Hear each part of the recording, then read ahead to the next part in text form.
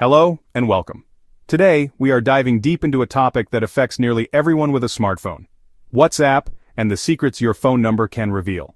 You might see your number as just a string of digits for making calls or sending texts, but in the world of open source intelligence, or OSINT, it is a key. It is a starting point that can unlock a staggering amount of your personal information. Before we begin this important journey, I encourage you to subscribe to our updates. The digital world changes quickly, and staying informed is your first line of defense. We are committed to providing you with the knowledge needed to navigate it safely and securely. This essay will pull back the curtain on the tools and techniques hackers and investigators use, not to create fear, but to empower you with awareness.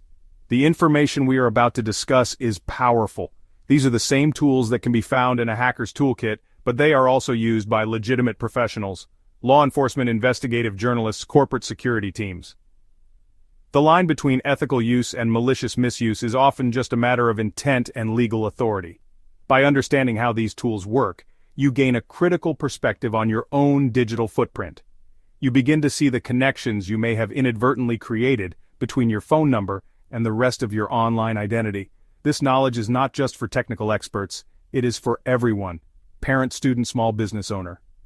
Throughout this discussion, we will explore 10 free and accessible tools that leverage WhatsApp to gather information. We will break down what each tool does, what kind of data it can expose, and the ethical dilemmas it presents. You will see firsthand how a simple phone number can be used to discover when you are online what groups you are a part of, what your profile picture might reveal about you, and even your potential real name and other associated accounts. This is not science fiction, this is the reality of modern OSINT. The goal here is to demystify these techniques, showing you the vulnerabilities so that you can take practical steps to mitigate them. Our journey is one of empowerment. By the end of this essay, you will not only be aware of the risks, but also equipped with actionable strategies to protect yourself. Privacy is not about hiding, it is about controlling what you share and with whom. The digital breadcrumbs we leave behind can be collected and pieced together to form a detailed picture of our lives. Understanding the tools that collect these breadcrumbs is the first step toward cleaning them up.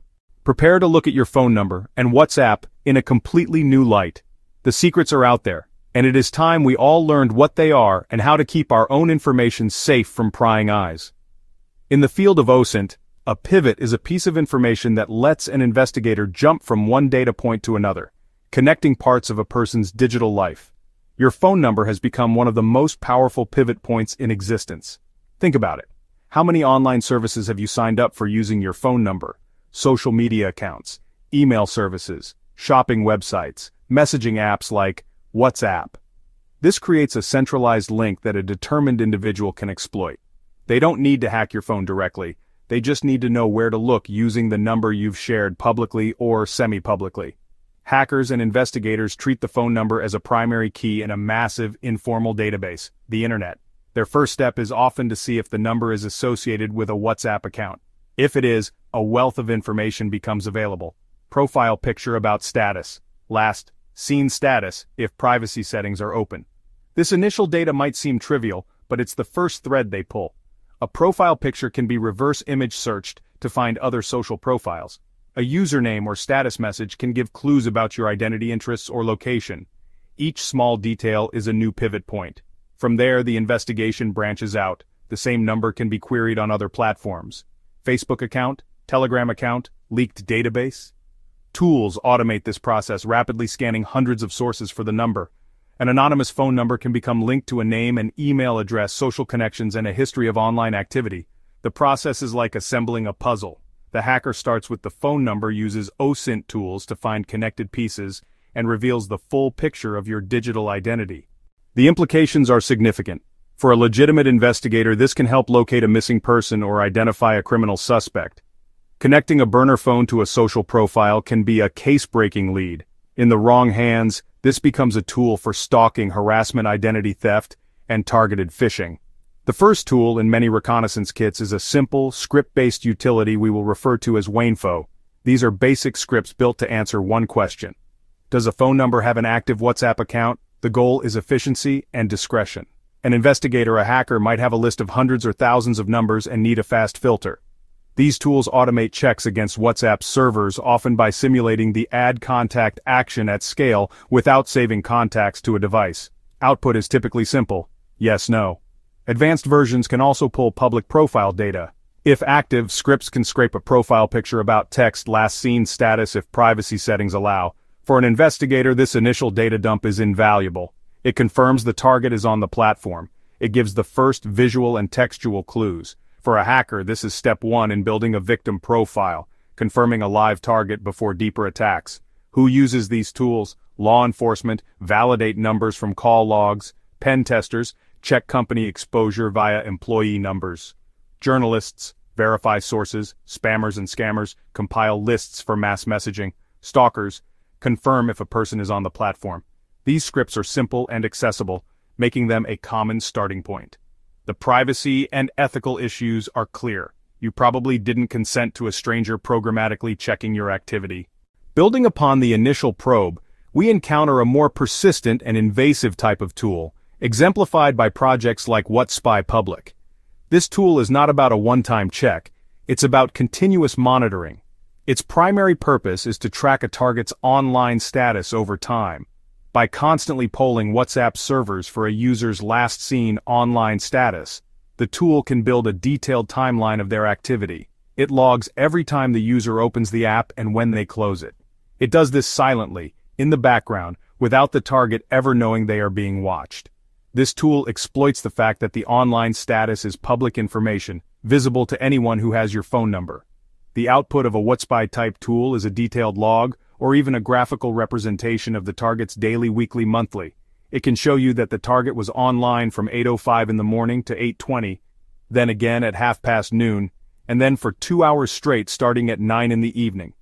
By analyzing these patterns, an observer can make startlingly accurate inferences. They can determine the target's sleep schedule, their work hours, when they are commuting, and even when they might be communicating with another specific person, if that person's status is being tracked simultaneously. The tool turns metadata into a behavioral diary.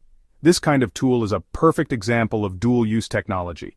A concerned parent might use it to ensure their child is not staying up all night on their phone in a corporate environment. It could be used, unethically, to monitor employee productivity.